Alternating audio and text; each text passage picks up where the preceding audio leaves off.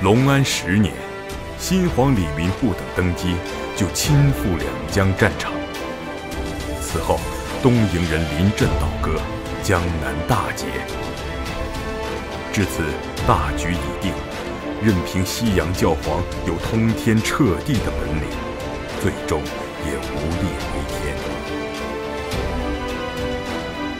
顾云终于挂了印。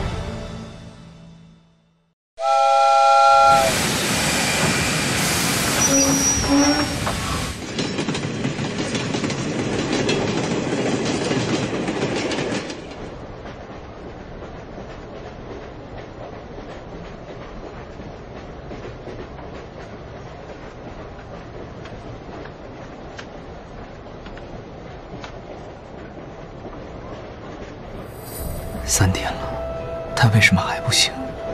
侯爷的药里有助眠的成分，不过大概也不全是药劲儿。这些年亏的太多了，心神一松就全发出来了。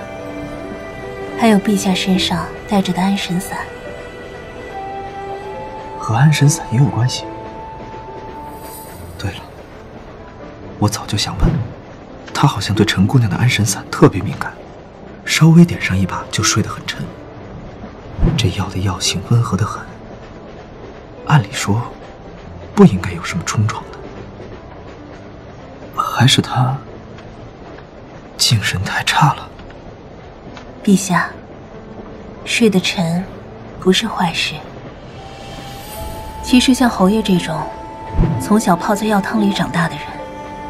体质比一般人更不敏感，这一味药里能让他沉眠不醒的。嗯？他不好意思什么呢？